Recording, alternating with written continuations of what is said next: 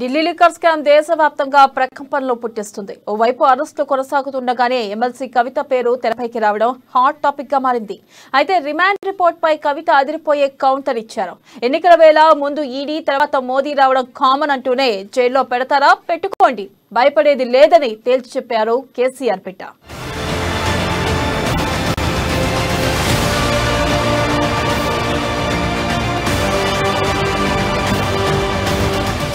తెలంగాణ రాజకీయాల్లో హాట్ టాపిక్గా మారిన ఢిల్లీ లిక్కర్ స్కామ్ కేసు కీలక మలుపు తిరిగింది. లిక్కర్ స్కామ్ రిమాండ్ రిపోర్ట్లో అమిత్ అరోరా కీలక విషయాలను వెల్లడించారు. అయితే ఈడీ సమర్పించిన రిమాండ్ రిపోర్ట్లో తెలంగాణ సీఎం కేసీఆర్ కూతురు ఎమ్మెల్సీ కవిత పేరు ఉండడం తెలంగాణ రాజకీయాల్లో కలకలం రేపుతుంది.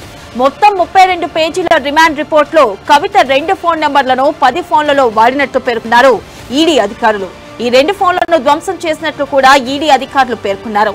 కవిత శరత్ చంద్రారెడ్డి శ్రీనివాస్ రెడ్డి పౌత్ గ్రూప్ను నియమించారని ఈడీ తెలిపింది.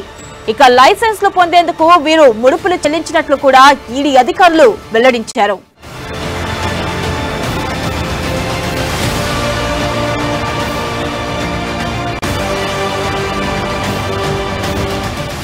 ఇక లెక్క స్కామ్లో తన పేరు రావడంపై ఎమ్మెల్సీ కవిత స్పందించారు.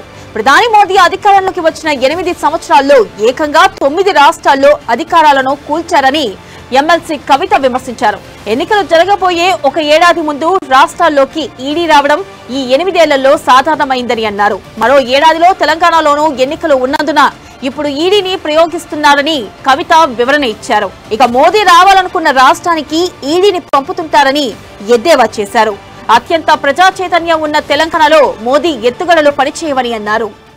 మోడీ వచ్చే కన్నా ముందు ఆ రాష్ట్రానికి ఈడీ పోవడం కూడా మనం గమనిస్తున్నాం. కొత్త విషయం కాదు. ఈ దేశంలో ప్రజలు గత కొన్ని సంవత్సరాలుగా ఇది గుర్తిస్తూనే ఉన్నారు. తెలంగాణ ప్రజలందరికీ ఈ సందర్భంగా నేను చెప్పేది ఏంటంటే ఈ ఈడీ కేసులు సిబిఐ కేసులు పెట్టడం అన్నది భారతీయ జనతా పార్టీ యొక్క హీనమైన నీచమైన ఒక రాజకీయపు ఎత్తుగడ తప్పితే ఇందులో ఏం లేదు.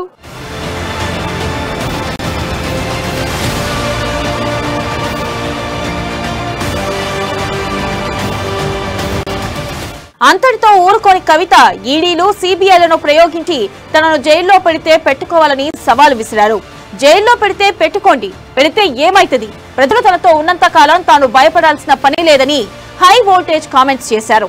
తాను ఎలాంటి విచారణ అయినా ఎదుర్కొనేందుకు సిద్ధంగా ఉన్నానని అన్నారు. ఇదంతా బీజేపీ నీచమైన రాజకీయ ఎత్తుగడ అంటూ విమర్శించారు. అట్లా కాదు కూడదు ఇచ్చేస్తాం అది చేస్తాం జైల్లో పెడతాం అంటే పెట్టుకో ఏమైతుంది? కొద్ది భయపడేదేముంది? ఏం చేస్తారు? ఎక్కువ ఎక్కువ ఏం చేస్తారు? ఊరెక్కిస్తారా? ఎక్కువ లేకుండా అంటే జైల్లో పెడతారు అంతే కదా? పెట్టుకొని రాదు. ఏమవుతుంది దాంతో ప్రజలు మన వెంట ఉన్నంత కాలం ప్రజల కోసం చిత్తశుద్ధితో టీఆర్ఎస్ పార్టీ పనిచేస్తున్నంత కాలం ఎవ్వరికి కూడా ఎటువంటి ఇబ్బంది రాదని చెప్పి ఈ సందర్భంగా తెలియజేస్తా ఉన్నాను.